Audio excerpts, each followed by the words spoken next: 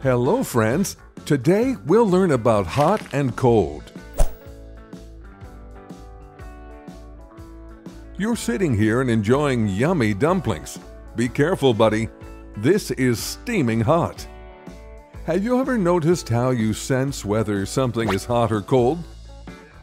There are three layers in the skin epidermis, dermis, and the hypodermis.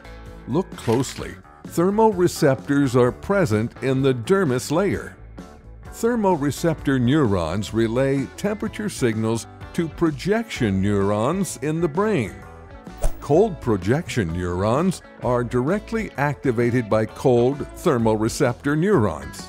And hot projection neurons are activated by hot thermoreceptor neurons. Apart from the senses of hot and cold, sometimes your body also feels hot or cold flashes.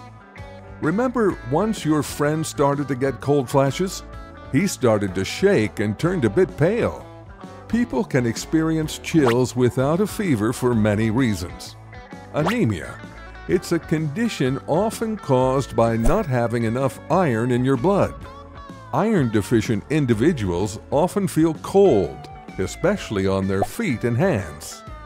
Hypothyroidism. People with hypothyroidism suffer from colds because they do not produce enough thyroid hormone to convert and utilize stored energy effectively. Raynaud's syndrome. In this condition, the sensitive blood vessels overreact to cold temperatures and become narrower than usual, significantly restricting the blood flow. Anorexia.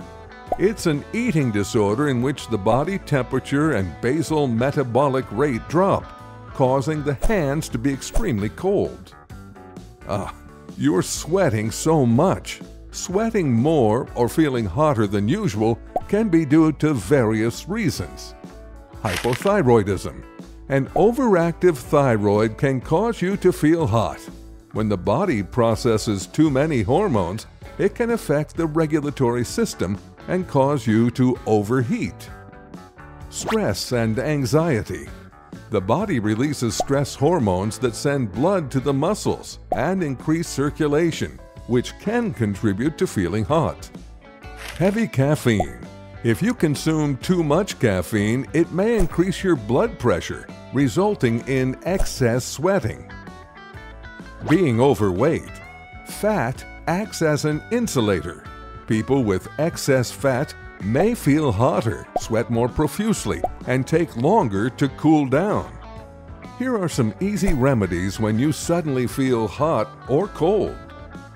Add layers during a cold flash to help you feel more comfortable. If you've had a hot flash, change wet clothing or bedding immediately.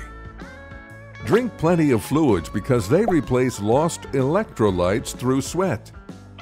Try yoga, meditation, deep breathing, or other things you find relaxing. Feeling hot or cold all the time may be an indicator that there's an underlying health issue. It's best to schedule an appointment with your doctor. Now, you know a lot about the topic. Stay tuned for more videos. Bye bye.